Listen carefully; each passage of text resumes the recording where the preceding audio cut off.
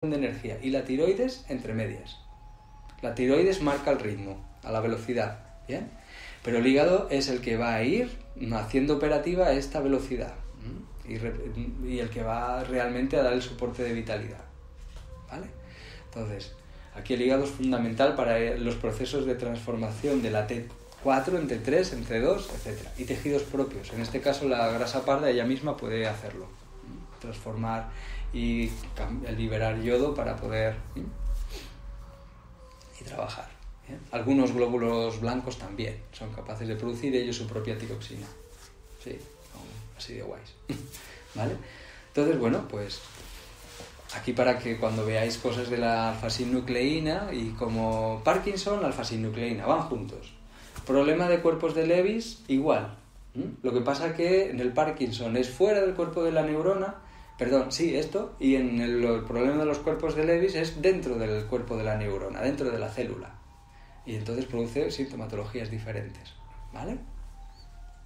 Problema igual, en uno genera demencia y en el otro Parkinson. El Parkinson pues te mantiene cuerdo, la demencia pues no, ¿vale? Una cosa es que no conectes y otra cosa es que no funciones. Dejan de funcionar las neuronas, es muy diferente a que las neuronas funcionan, está perfecta, el Parkinson a la neurona no le pasa nada, le pasa al axón, a la comunicación, ¿vale? Entre, entre neuronas. ¿Sí? Vale. Pues nada, pues eso, espero que sirva de ayuda a esta compañera y que pueda trabajar. Hemos tratado unos cuantos casos de problemas de cuerpos de Levis y no hemos tenido tiempo eh, personalmente porque los más eh, prometedores en el sentido de que ya teníamos mucha más información para poder trabajar ha coincidido con el cambio que yo he hecho de Madrid aquí. Entonces no he podido continuar el tratamiento de esta paciente personalmente, lo está llevando mi compi en Madrid, que ya le iré preguntando. Entonces, de momento no sé nada de esta paciente porque no le he preguntado específicamente con todos los pacientes que veíamos allí. Entonces, bueno, pues, ¿vale? Vale, pues teníamos una pregunta también de, cambiando de tercio, de Mara, que nos hizo y que es una pregunta interesante y que interesante para responder, si la encuentro por aquí, que me hizo una pregunta que madre mía. La leo tal cual, no sé si la vimos el otro día. Se habla de que toda la economía energética del ser humano trabaja y colabora en un sentido, el de la supervivencia. Vale, esto hay que aclararlo, ¿eh? ¿Con qué matices se debe interpretar la supervivencia en un ser, el ser humano, que ha desarrollado un vector energético como el maestro corazón que nos identifica como seres interdependientes? Al hablar de adaptación para la supervivencia, ¿hablamos de que el ser busca el camino más eficaz para vivir un minuto más? ¿O existe de alguna forma una inteligencia adaptativa y evolutiva que no solo quiere vivir un minuto más? No te asustes, sino que además busca la mejoría del sistema vital en pos del individuo. Y en ese sentido, ¿hacia dónde va el Sanchao atravesando la materia? Esta pregunta mm, tiene mandanga también. Vale, la pregunta hay que leerla dos veces, porque hay como 30 preguntas en una pregunta, entonces vamos a ver. Se habla de que toda la... Se habla, para ella es que lo he dicho yo en algún momento. Vamos a traducir esto. Entonces no es que se hable en medicina china, es que me ha oído a mí alguna vez en alguna clase y lo he dicho así. Se habla de que toda la economía energética del ser humano trabaja y colabora en un sentido, el de la supervivencia. Bueno, vamos a aclarar esto. Yo entiendo lo que está preguntando, pero esto no es que sea así. O sea, más bien es, tenemos una energía, una, cantidad de energía que podemos consumir diaria, porque tenemos que producirla, ya venga por lo que comemos y transformamos con el oxígeno en ATP o sin oxígeno, me da igual porque vamos a producir ATP también, pero menos cantidad y vamos a hacer los procesos propios metabólicos. Y con esta cantidad de combustible, ahora tenemos que repartir. Y entonces hay que priorizar. Esto no es que digas toda la, energía que tienes va hacia la supervivencia, no, esto es como las sociedades. Es decir, si yo estoy sano, tengo un montón de energía para mi cabeza, en el momento que le corresponde. Entonces aquí da lugar a la creatividad, a la curiosidad, al crecimiento, a la conciencia, a muchas cosas, todo lo que queramos en ese sentido que ha ido evolucionando también toda la especie humana. Bien, ahora, estoy, eh, tengo que cazar, pues antes de salir a correr tengo que generar una estrategia. ¿Hacia dónde va dirigida la vitalidad? A aguzar el ingenio. Yo creo que todos sabemos ese dicho de que el hambre agudiza el ingenio, ¿no? Pues es tal cual. O sea, es que el sistema neuronal primero tiene que mucha energía para allá. Ahora llega el momento porque ya he elaborado una estrategia y ahora ya veo. ¿A dónde tiene que dirigirse la energía ahora? A la periferia. Ahora entra el nervio de que ya me lanzo, ¿no? Entonces sube la adrenalina, simpático, cortisol. Cortisol retira la energía de la cabeza, la deriva a la periferia y a inmunología por si tenemos una infección o nos arañamos o algo. Y entonces me prepara para salir corriendo a cazar. ¿Vale? Pero la quito del otro lado. Entonces, no es para sobrevivir. En el fondo sí, pero no es en el estoy luchando por mantenerme vivo y paso de todo lo demás. No. Y en este proceso, el ser humano, que es un ser inteligente, en un nivel un poquito por encima de la media, vamos a decir así, o no, porque vista la humanidad como va lo mismo, ¿no? Bien, pero digamos que piensa, es un ser pensante y se puede proyectar en el tiempo, cosa que el resto de los seres como que les cuesta un pelín más. Entonces, ¿qué hace? Que si yo veo que para cazar un mamut solo no puedo, pues entonces me voy a liar con Carlas y con Adrián y voy a decirles, oye, ¿qué os parece si nos vamos a cazar un mamut el próximo día? ¿Tres nada más? Pues nos aliamos con más oye, Yamilet, ¿qué te parece? oye, Merichey, ¿qué te parece? Y nos vamos y ¿cómo? Pues mira, y decís vosotras, yo no voy a correr, paso. Bien, o Yamilet dice, yo corro a saco. Muy bien, pues ella con una lanza o lo que haga falta o con una pandereta para asustarlo y que se caiga por un barranco, que era lo más lógico que hacía el ser humano. Bueno, y ella, pues la primera, el cebo, para llamarles la atención, porque pasa de correr, se queda por allá y luego ya se esconde en un agujero. Y allí vamos nosotros con nuestros taparrabos en la época prehistórica bueno, pero entonces, ¿qué? Eh, no, solo si ponemos la imagen de toda la energía para la supervivencia, pensamos en una forma egoísta. Pero para la supervivencia supone que para sobrevivir yo necesito que sobrevivas tú, porque si no, no sobrevivo yo. Entonces, si ahora le ponemos moralidad o tal, y conceptualidad, filosofía y psicología y muchas cosas, decimos, no, porque es empática, muchas cosas, ¿no? Pero de la parte más primaria es algo espontáneamente natural y si yo quiero sobrevivir, necesito que sobreviva el resto de los humanos conmigo. Ahora, hay muchos humanos, a lo mejor me sobran unos cuantos, pero siempre tiene que haber, porque el cerebro siempre va a decir, necesito a los de alrededor para sobrevivir.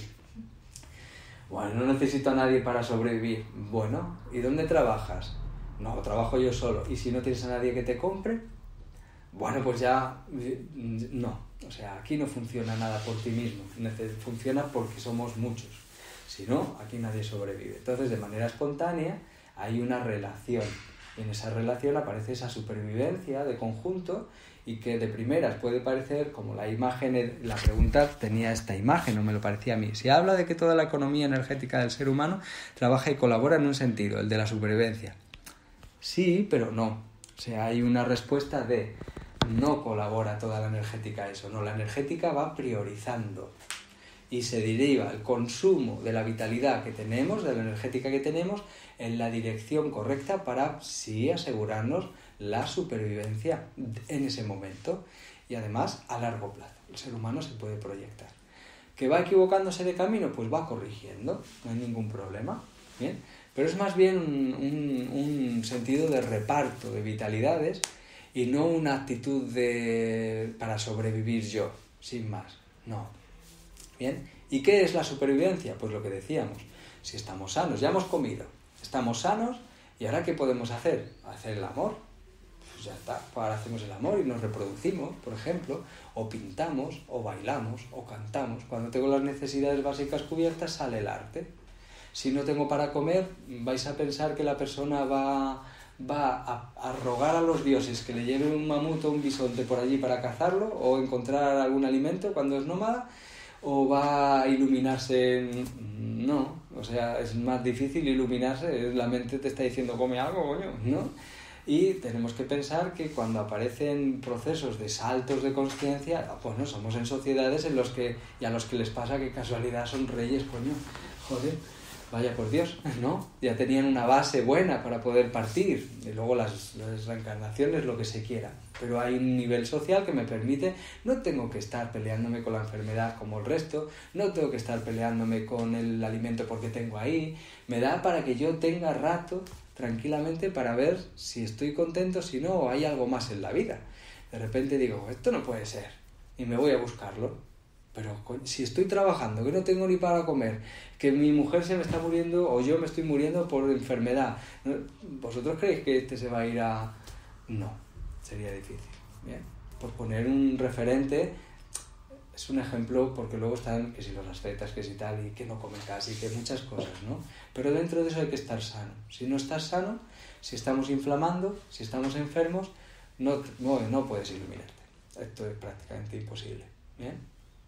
Por decirlo en estas palabras. Habrá alguno, pero como un porcentaje alto, alto seguro que no. ¿Bien? Vale. ¿Se entiende esto? ¿Con qué matices se debe interpretar la supervivencia en un ser humano, que ha desarrollado, en un, en un ser, el ser humano, que ha desarrollado un vector energético de maestro, como el maestro corazón, que nos identifica como seres interdependientes? Pues creo que ya está, ¿no? Más o menos explicado. Aparece como necesidad de supervivencia de especie, porque no puedo sobrevivir yo solo, sobrevivo más fácilmente si lo hago con alguien, con una tribu, mucho más fácil, ¿no?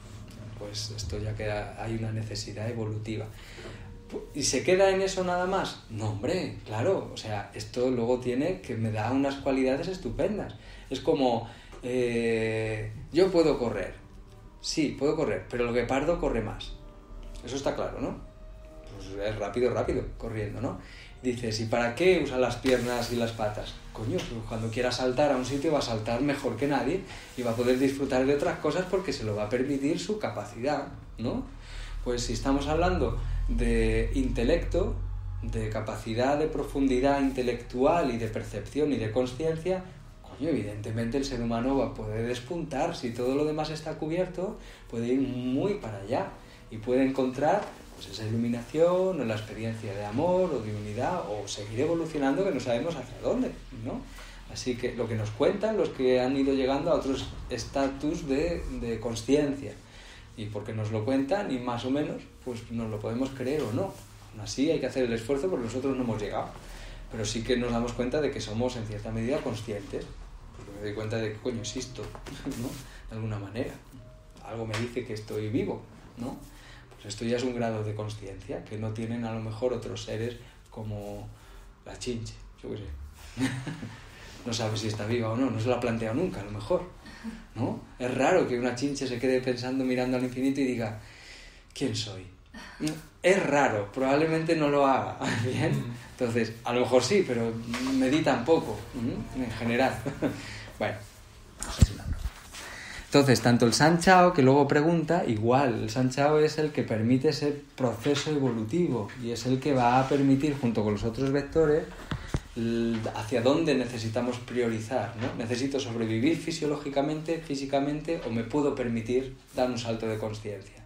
Me lo puedo permitir. Cuando no me lo puedo permitir de manera natural y lo provoco con droga, con drogas, por ejemplo, ¿qué es lo que produce? Un consumo muy alto de vitalidad, mucho ¿Y de qué vitalidad? Del chin, de la esencia vital. Esta baja pero a una velocidad tremenda. ¿Para qué se ha usado? Para el salto de conciencia. Se acoge el psicotrópico o la droga, te produce un salto de conciencia cogiendo de tu esencia y te provoca, ¡pum!, el salto. ¿Bien? Pero luego, eso lo vemos. Persona que consume algún tipo de droga que le hace producir muchos saltos de conciencia, las personas que fuman marihuana llegan a un punto en el que ya están o están colocados todo el rato, por ejemplo, o ya no notan esos saltos tan grandes, les afecta menos porque se hacen resistentes a la, al THC, por ejemplo, ¿no? Entonces, pues no se colocan fumando un canuto como no se coloca alguien que no ha fumado nunca, evidentemente. El que no ha fumado nunca con un cigarro ya tiene, no necesita ponerle nada, ¿no? Y ya le provoca un pequeño salto de coño, ¿qué ha pasado, no? Con el alcohol igual, ¿no? Con todas pero siempre es a costa de la esencia. Si yo puedo cambiar la percepción, aquí la energía esencial se está gastando. Ahora, si ha producido mi cuerpo de manera natural, esto es diferente. Se está redirigiendo. ¿vale? Porque ha ocurrido de manera natural porque tengo un excedente de y me permite dar ese salto. ¿vale? Y ocurre de manera natural. Ahora, no tengo ese excedente y tengo que sacarlo para llegar a este pico, a esta altura, ¿no? De ese salto de conciencia, de aquí abajo del suelo al cielo. ¿Y de dónde lo saco? De la esencia vital, pero ¿quién es el catalizador? La droga, pumba, me provoca el salto.